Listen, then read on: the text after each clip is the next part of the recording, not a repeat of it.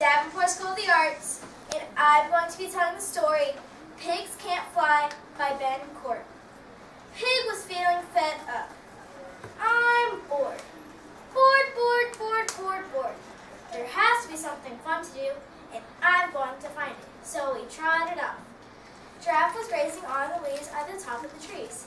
Pig gazed up at him. I bet exciting things happen to giraffes. Suddenly, Pig thought of a clever idea. Pig made some stilts and he went for a walk to try them out. Hello down there, Pig called to Zebra. I'm a giraffe and it's great.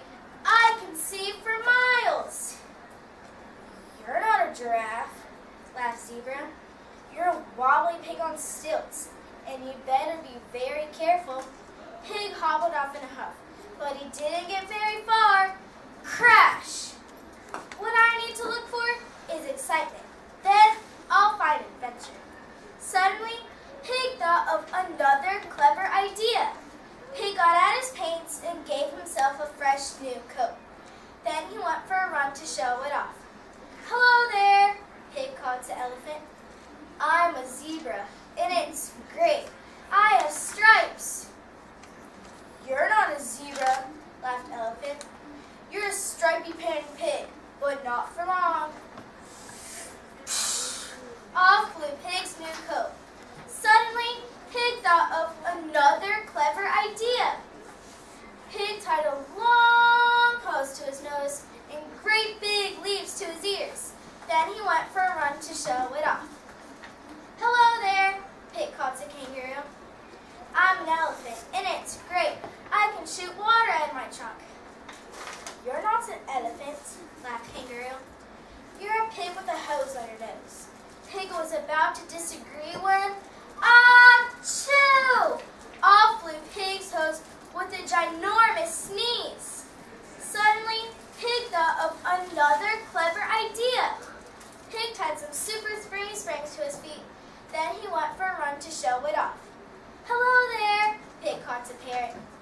I'm a kangaroo, and it's great. I can hop as high as a house.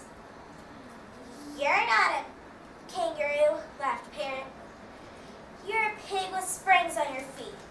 Pig got so hopping mad that he jumped higher and higher and higher till he landed right into a tree. Pig wiggled and wriggled till he fell right on the ground.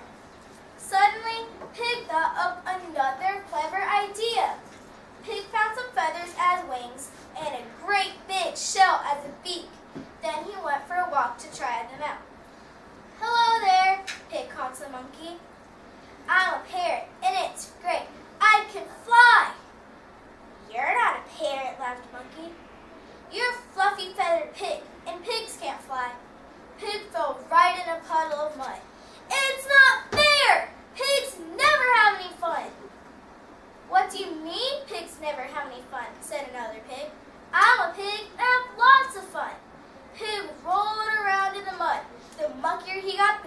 we loved it.